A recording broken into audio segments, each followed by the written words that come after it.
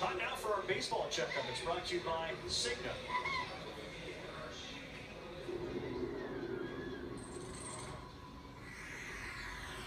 And with Jeff from Australia, we're going to talk about pop-up priority in the outfield. Safety's a key, okay? So as far as priority, it goes center field, left field, shortstop. Now listen to these guys talk. Ready, boys? Here we go. So our left fielder calls it. Our shortstop's going to go until he hears something, okay? Shortstops, we're going to run until we hear something. We don't hear anything, we can go make the play. Center fielder can call anybody off. The left fielder calls the shortstop off. And if nobody says anything, shortstop goes and makes the play. Makes it safer for everybody on the field.